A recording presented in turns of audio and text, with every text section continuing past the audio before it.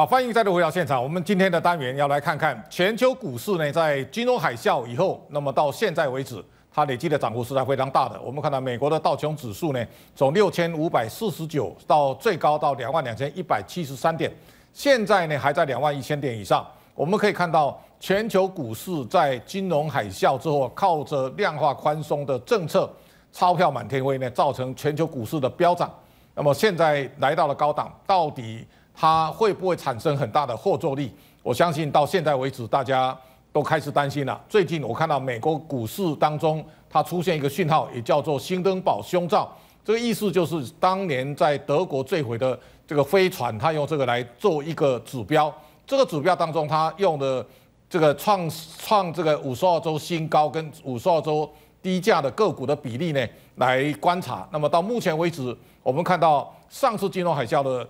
这个新登堡指标是七十八天，那么这次大概来到七十六天，已经非常接近了。那上次到七十八天之后呢，全球股市出现股灾，那么这一次呢，到底会不会引发重大的回档效应？我相信到到目前为止，全世界的资金都在风险性资产上面，尤其在股票市场。那么大家累计的涨幅这么大，到底会产生什么样的效应？台湾呢？外资的持股到超过百分之四十一以上，所以有任何风吹草动都会对台股带来非常巨大的影响。那么最近这个我们郑清文跑到这个挪威啊，观察挪威主权基金啊，那么这里面也给大家来做一个说明。那我想吴家龙长期观察这个美国的地缘政治跟美国的金融市场啊，我今天我们请两位呢来跟大家就近来做沙盘推演。我们请。吴家龙来先跟观众朋友问候一下啊，社长，各位观众大家好。好，请问兄。社长好，各位观众大家好。好，先请吴家龙你来讲一讲哈。吴老师，你看看川普在上任之后呢，美国股市一万七千 这个八百三十一点一路飙涨到现在，我想川普最近很多状况，包括边龙下来哦，包括很多的阁员啊都挂冠求去，那这当中啊，包括北韩的互相喊话，都造成股市的回档。那美国的 FAMG 呢？现在其实大概都没有再创新高了哦，所以我们大家都很关切美国股市的未来。另外一个，美元呢，川普上来之后它飙涨，现在美元指数啊不断下滑，在九十三左右。所以如何观察在国际金融市场对我们未来的下一个回合的投资会带来什么影响？啊，社长这个问题非常的切题。我们现在谈美股跟美元，我分开讲。第一个呢。现在对美股的担心哈，包括用一些，比如说那个本益比啊，哈，还有社长刚刚讲的那个指标，哎，他们在做比较的时候哈，拿目前的数据或者股市的表现去跟过去的股市表现来做形态类比的时候，有一个很大的那个差距没有注意到，就是我们看到过去一百年从一九二九的道琼崩盘。一九九零的日经二二五的崩盘，到两千年沃诶纳纳斯达克科技股的崩盘，他们都有一个共同点，就是利率已经正常化。对。然后呢，因为景气持续扩张，为什么呢？因为有工业革命。一九二零年代是汽车工业革命，一九九零年代是资讯产业革命啊。然后呢，这些工业革命最后会带来也持续哦，持续繁荣的话，容易产生过度乐观、过度举债，最后过度从众、泡沫化，然后破掉。那我们现在并没有到看到利率已经正常化，所以现在拿本利比来跟以前比，其实不对。还有公司的体质好很多啊！我这次发现半年报哦，为什么？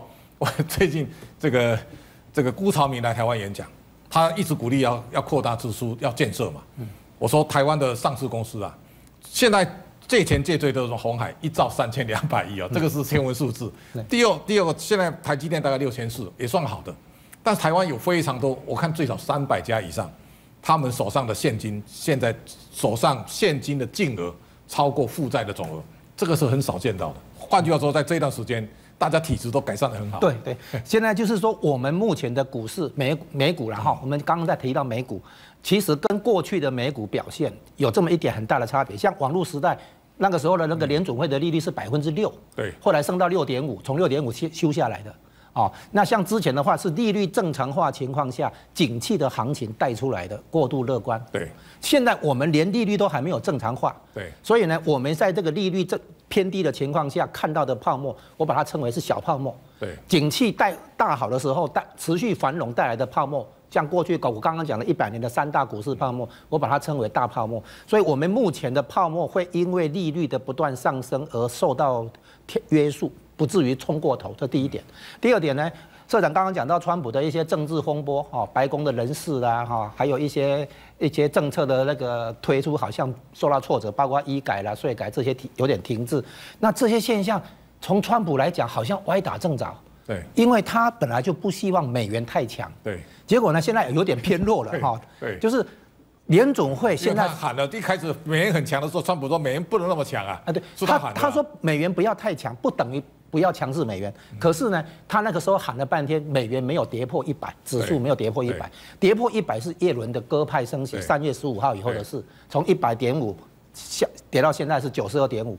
这一多行情里面，后面的话有很多是因为白宫的那些风波了哈。那这个东西我把它作为歪打正着，因为美元急剧的那个下修以后，会在接下来的两季对上市公司的财报产生加分。对，所以呢，接下来的话，光是上市公司的财报改善，又会对股市形成一个支撑。对，所以目前去判断股美国股市的话，我说没有崩盘危机。可能会像社长说的有一点拉回或者有一点修正，但是还不至于看到危机，因为目前看到的股市，往往因为升息缩表这些会产生约束，然后再加上政治的动荡或者地缘政治风险，它会出现一种说高档震荡。但是也不至于出现说那种崩盘。那些预言美股要崩盘的人，是因为他看不起业。这个卖家华了 Jim Rogers，他们看崩盘最少看五年以上的。不是你你讲崩盘，不是你你可以做预测，但是你这个我说你这个预测是没有把叶伦放在眼里。对，一我说只要叶伦在，他说老娘不升息了可以吧？对，我不缩表了行吧？你怎么崩？你崩不下去的，因为目前处在。货币还是还是在货币宽松的环境，在这种环境之下，随着景气慢慢的稳健复苏以后，将来会用景气行情来取代资金行情。目前在行情在换轨，以前是资金行情刺激出来，现在慢慢的会用用那个景气行情，就是 EPS 走高，预期预期看好，市场情绪转乐观，信心增强，这种景气行情会带会会来取代资金行情。所以资金慢慢的收紧的过程中，美股并没有跌。那看到历次的升息。九四年升息，两千年升息，两两千零四年的升息的时候，你看那个指数都是震荡走高的。对，也就是说升息的背景是因为景气转强的话，对企业的营收获利是其实是助攻的。对，哎，所以我我你现在很多担心美股可能会就是拉回修正，OK，但是呢，你说要崩盘的话，我现在不觉得会有这个危机。这跟台股一样啊，很多人讲看到那个台股腿都软了。哎，而且我我上次我讲说台股上万点会很久。大家都不相信了，很多人把我骂。我也这么说，对哈。那那这个就是说，大家都认为，因为过去台股碰到万点都崩盘了。那我们用过去的观念来看台股，我最近跟很多人讲，我说大家都把台湾看得太衰了。为什么？台湾在 AI 人工智慧上其实很重要。为什么？台湾的半导体是演算法或深度学里面的心脏。那光学镜头是眼睛啊。我说你要大数据，要解读人脸辨识，都是靠镜头啊。没错，台湾是世界光学之都哎，所以你现在很多人像亚光上来，他就可以放空，放空之后呢，卡死了。为什么？他不知道那个后面的变化有多巨大。台湾其实我最近在观察一个，我们在过去十十年当中，从 Apple 的第一代到它第八代要出来的，台湾单单靠吃苹果已经不知道养活多少上市公司，都不很大嘛，哈。下一个我在想说，Tesla 为什么？穆斯克如果要让 Tesla 的电动车一年可以卖一百万辆，全世界能够帮 Tesla 做，哇，只有台湾人。所以我认为 Tesla 如果好好跟合台湾合作，它就会变大。如果他没有想到这一点，Tesla 将来就危险了。为什么？所有东西你做的又好又便宜，只有台商啊。社长讲到这个东西，就是在讲台湾的产业竞争力，其实在慢慢回回升，产业的复苏力道慢慢在转强。对，那这个东西也是跟美国的一些新兴产业、新兴的公司发展方向连结的。所以那一天我跟马凯有个座谈嘛，他说台湾不要去做那个帮人家做廉价代工了哈，他说台湾要想办法去做 Apple 啊，想办法做 Tesla。我说我也知道啊，我说但是我们长这个屁股就只能吃那种药嘛。他说这个要认问啊，就是说我们没有办法去做一个世界级的这种大品牌。台湾绝对利益不是我们没有办法而已，日本、德国也没没办法。对，全世界只有 Apple 只有一家哎，所以我说你就认命，你就只能帮他做代工。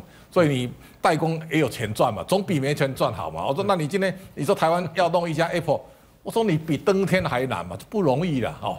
好，这个我想你等一下再再来请教你。郑清文先回答要你，我我我看你这一次到挪威啊，看主权基金，挪威的主权基金好像买台湾的股票买八十三亿，是不是？美金，美金哦，八十三亿美，那是币，台币两千五百亿。好好，这个是够大的哈。这里面你发现那个外资当然是台湾扮演重要角色。你如果从挪威的主权基金呢来看他们买台股，这里面给你什么启发？都很有意思的。我想社长讲的非常好啊，就是说这一次的台股在万点会站得很久。那为什么呢？其实我们从过去十年的数据可以印证这个观点了。我们现在来看一下，其实外资在过去十年呢。他在投在台湾投资的金额呢，已经快快一倍了。从二零零七年市值占台股的比重三十一趴，到现在占台股比重的四成，你可以想想看，外资是多么爱台湾啊！当然，有些是内资转到外资去节税。对。但是我们从这个金额来看啊，真的是吓死人啊！你看它金额几乎成长一倍啊！所以这次的万点行情呢，到底跟以前的万点行情有什么不一样呢？我们来看一下过去十年来三大法人买超台股的金额。大家在讲说万点可以撑多久？其实很简单，我们看过去十年来有四年是下跌的，而这四年呢，外资的买超金额呢小于一千五百亿。今年买超已经两千五百亿，所以当外资的买超金额小于一千五百亿，你再来担心说。现在台股可能会下跌，那我们再从一个，你看外资光配息哦，它不是赚钱哦，它光配息不算股价赚钱，它就领走了一点五兆的这个现金股息。那我们来想想看，一点五兆呢，他领了做什么用？他也不是拿走。你看看这个再投资的比例，今年呢，我们看看去年外资领走这个一点五兆股息，过去五年来。他又投了台股一点一兆，所以其实你看今年买超金额两千五百亿还好，对不对？因为他股息就领了一点五兆嘛。但是呢，这个七十二趴代表一个什么意思呢？就是说，台湾的外资课税是要课二十 percent。那再加上它的交易成本，也就是说，他把领来的股息大部分都投在台币了，对。那各位一定觉得很奇怪啊！哎，外资真的比台湾人对台股有信心呢？他税轻了，我们本国人要缴一半。对啊，本国人要缴税比较重，但是外资也对台湾太有信心了吧？挪威跟台湾没有邦交，挪威各位想想看，一个人口四百五十万人的国家，它的主权基金是九千亿美金哦，不是台币哦，是九千亿美金，比中国大陆、比沙地阿拉伯、比。我们在讲的这个，常常在讲说，新加坡主权基金来台投资股票，新加坡主权基金在全世界的主权基金排行是十名以外的。挪威主权基金不止投了台湾两千五百亿，他们还是一个公开透明、用道德规范来投资的这个主权基金。他去年赚了五百三十亿美金，美元啊，就是赚了一点六兆台币。年报酬率六点九 percent，各位想想看，公开透明、道德规范。喂，这个公开透明跟道德规范，他们怎么做？这个是台湾学不到了，因为台湾都上下其手啊。对啊，挪威 最近我说那个国华基金呐，有一笔投的那个如新啊，那个一百亿台币哦。我说，哎，这个纺织业，我说你投纺织业怪怪的，我说这个要稍微了解一下。所以它这个非常特别，就是说挪威是一个小党林立啊，现在是绿党跟工党在主政啊，但是他们这个领导人换来换去呢，这个主权基金都没有受到影响。对，哦，他们就是很简单，他不投军工股，因为这是危害人类的；他不投煤矿股，这煤矿烧煤矿也是危害人类的。他只投资这个绿能产业，对人类有益的，哦，没有贪污状况的。上市贵公司，所以这是非常特别的。那去年为什么挪威可以赚这么多钱，performance 这么好？很简单，去年呢，他就美国那个 FAMG 那个五档买一下，我看对，他就减少债券的投资，增加股市的投资。他现在的投资比例也可以给各位做参考。他既然主权基金这么大，大家个人的财务也可以这样做参考。他今年的组合呢是股票六十五趴，啊，这个债券三十二趴，房地产三趴，所以他是这种投资组合。也就是说，它基本上呢就是看好高值利率的股票。现在啊，如果我来投，我来主主导这个基金啊。美国那五家哈，Apple 啦，这个 Google 啦，再加微软，再加 F F B，再加亚马逊这五个，再把阿里巴巴，再把腾讯加进来，对不对？三星、台积电，台湾我可以加红海、NVIDIA 啊，这个再加上 a l p h a 对不对？然后百度啦，这个我全世界里把那几个重量级的，像日本的软体银行，我就挑二十档，我全部压在这里。我看报酬率就惊人了。对啊，这就是公开透明、道德规范的投资法。对，它就是这样子啊。所以各位可以想想看，其实可以公开透明、道德投资，也可以做出这种绩效啊。对。那这种绩效呢，它就不会跑来跑去，它就会长期投资啊。然后他就会把从债券的资金慢慢转到股票来啊。对。所以各位的投资思维一定要改变。今年他加码了什么？今年这个挪威基金加码了这个台湾的红海。加码了第一金，因为第一金的股息值利率就六 percent，对，所以你去看它大概都是买了超过十亿以上，也就是说，事实上呢，这种公开透明、道德还是可以获利的。对，那我们再看回顾一下，巴菲特在二零零七年最有名的十年投资赌局，他跟一个对冲基金的叫 Ted Slide 两个人呢，在十年前做了一个对赌。Ted Slide 选了五档对冲基金，做了一个投资组合。巴菲特就选了标准普尔五百指数跟他对打。对，现在十年到了，这个先排了。标准普尔呢，这十年来涨了八十五趴，年化报酬率七点一，对冲基金只有二点二 percent。所以巴菲特的被动投资是赢的。对，所以其实各位。也不见得说我们投资不见得一定要去买标股。嗯，现在整个投资形态已经改变了，台湾外资占四成，大部分是法人，所以呢，其实你买 ETF 搞不好赚的都比买这些小股票跑来跑去还来的现在就是世界越复杂哈，我常讲一个观念，投资越来越单纯，你的想法理念哈，这个观念清楚，其实那个一以贯之啊。可能会赚最多了，这这一点我觉得，就刚刚那个吴吴吴家龙特别也特别提到，现在从资金行情要进入到景气行情，那我想全世界在经过这段的调整之后呢，这个好的公司啊，它不断的会浮现，所以我们面对未来这个世界变化是大的，但是我们对未来的标的的选择，你有什么样的给投资人一些意见？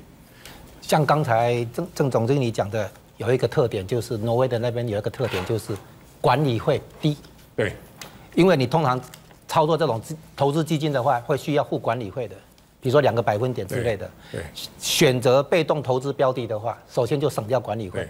然后接下来我补充一点，就是外国的基金或者过剩资金来台湾的话，是把台湾的全值股，因为它的高配息、稳定配息，把它当债券在买，我把它称为股市的债市化。对，所以呢，你看到他挑的标的其实是。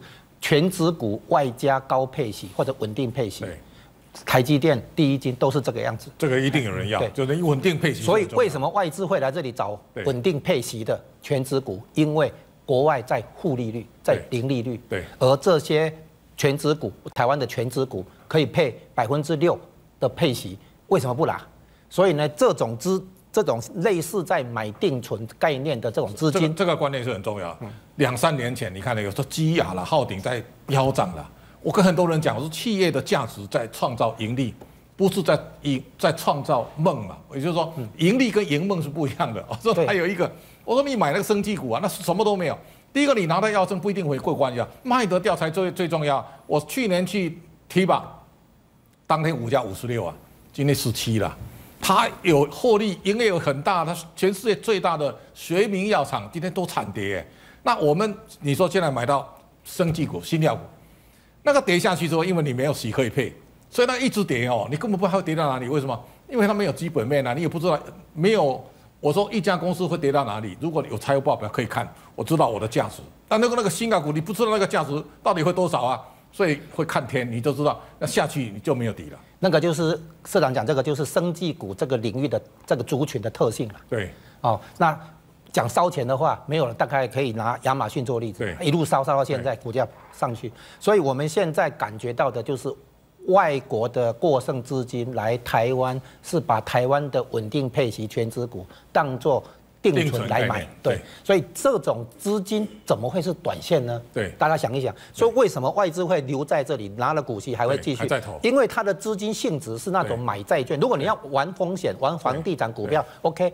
但是呢，有些钱你总是要把它当定存来摆放。对，这个时候标的就是台股了。所以我为什么台股会站上万点那么久？这个是原因之一啦，因为外资主导，而外资是。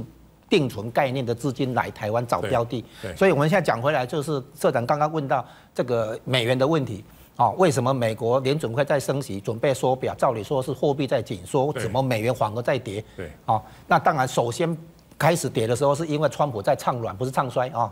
可是呢，后面跌的原因主要有三个，一个是。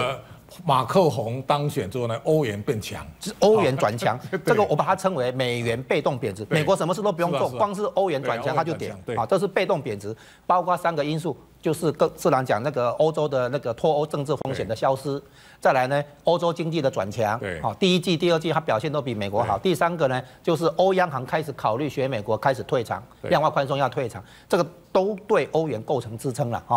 那而且这些因素看起来可持续。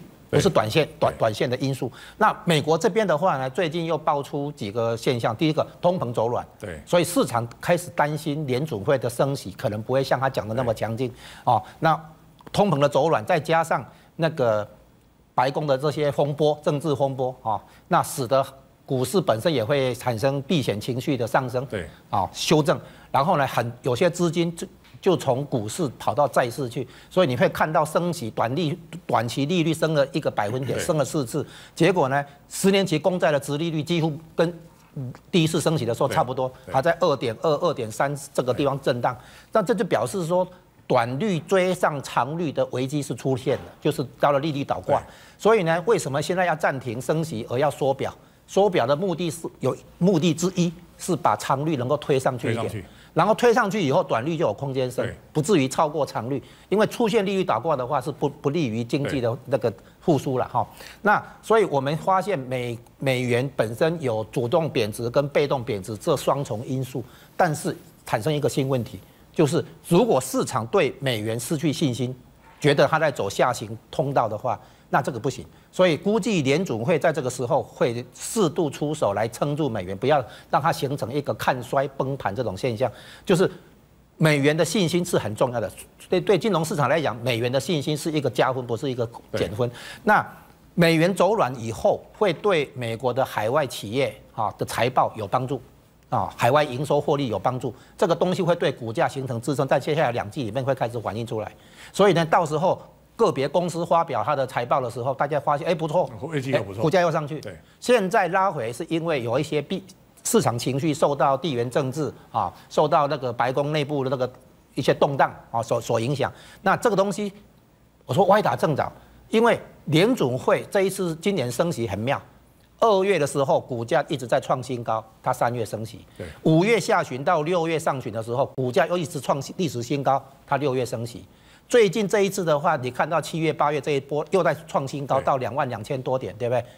照正常情况，联总会要升息，可是因为现在暂时不方便升息，再升下去短率会追上长率，所以它改成说，目前的市场的预测是九月不升息，但是宣布缩表，从十月开始。那缩表的意思就是稍微把长率推上去一点，对，然后呢留下空间让短率来升。所以在这种操作之下的话，美元应该会得到适度的支撑。另外还有一个因素是市场本身，就是现在市场上太看衰美元，太看好欧元。对，市场一致性升高到一个程度以后，如果美元跌不下去，欧元涨不上去，会开始出现洗盘的修正了。到那时候美元又会强弹，欧元会拉回整理。所以呢，目前看起来这些还处在拉回整修正的这种状态，还不构成崩盘。好，我想这个把这个观念弄清楚，大家心里就很明白哈。这里面我们金文兄，你再跟大家谈一个观念，你看到到挪威哦，其实挪威有一个政策，到二零二五大概全部改成电动车了哈。那这当中，我刚刚我一直在讲，特斯拉如果它能够把台湾变成一个重要的伙伴。那这个大家一起打造那个电动车，那个量那变一个呢，把电动车的价格往下一直压在三点五万美元以下，就一百万台币可以买到电动车，然后充电充电的这个可以跑五百公里以上，那这样的话，这个整个电动车的这种普及普及度啊，大概会有无限上升。所以我一直觉得，如果台湾能够在苹果供应链之外，我们能够找到一个长期伙伴，形成另外一个第二条重要的供应链。那台湾未来的经济的前景，我觉得会非常乐观。你的看法呢？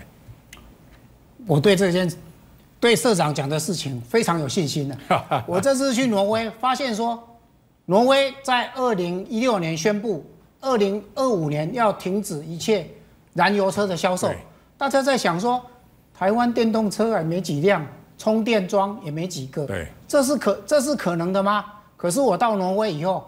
发现这件事情在挪威是一定可以达成的，为什么？因为现在挪威电动车的占比高达三十七 percent，也就是说，在挪威每三部车就有一部是电动车，所以他立一个法，二零二五年禁售一切燃油车一点都不困难。那怎么说呢？因为挪威利用主权基金的获利来补助电动车。刚刚我们提到，挪威主权基金是要投资未来。所以它是投资绿能产业，补助电动车怎么补助呢？它补助电动汽车百分之二十五，补助电动脚踏车百分之十五。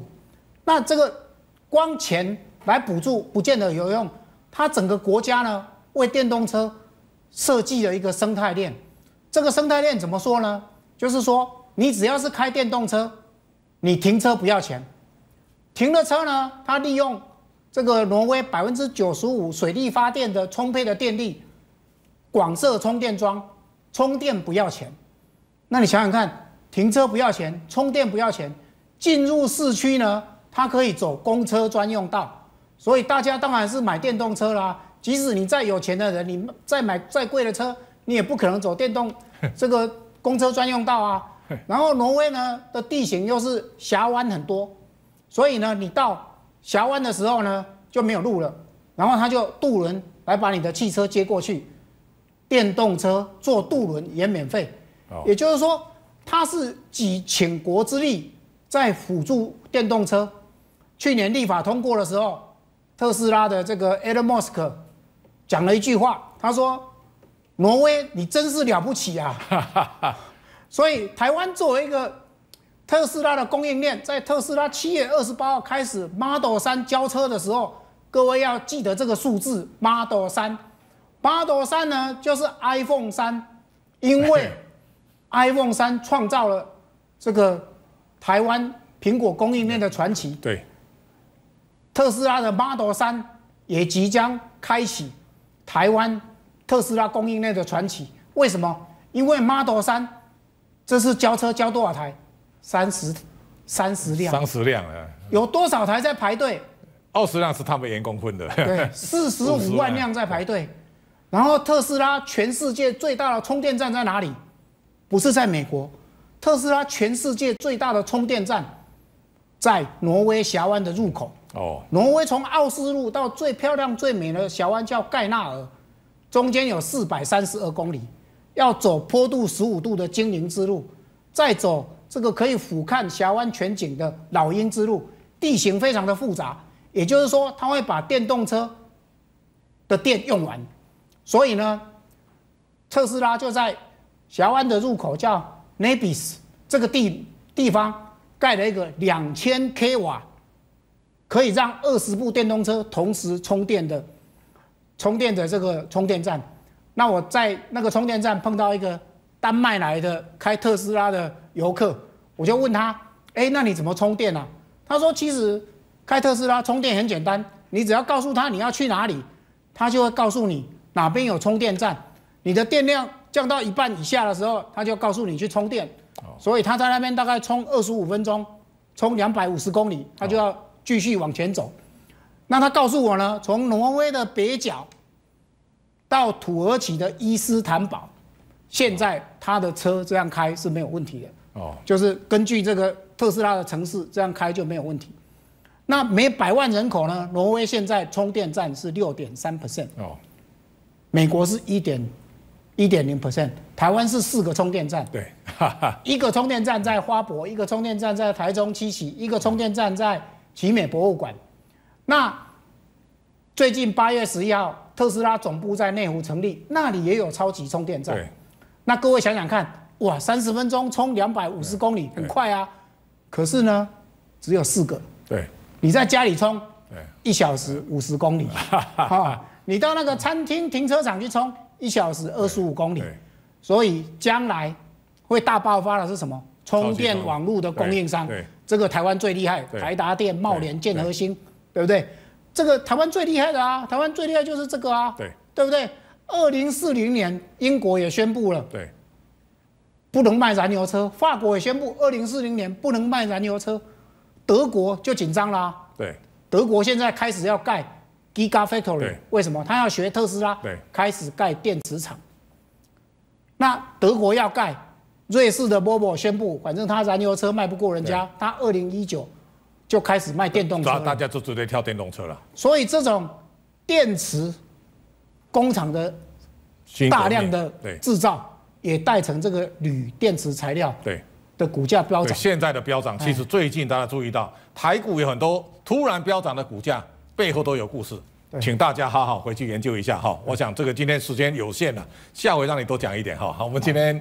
大概吴家龙告诉大家，从全球的这个整个现在的这种系统性的风险没有。那台湾其实，我们如果在万点将来要可长可久，台湾要打造新的特斯拉供应链，我相信这个如果台湾能够形成一个很大的苹果之外的供应链，台股会有非常美满光明的愿景，这是大家可以期待的。所以到万点，大家不要太悲观。等一下，请文胜来告诉大家，在万点的时候，你还有什么股票可以选？收回来。